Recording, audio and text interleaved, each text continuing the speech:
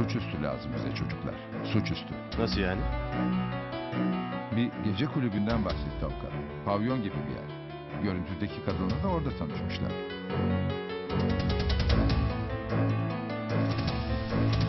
Hem evlisi hem çapkını. Öyle. Seni bozar mı?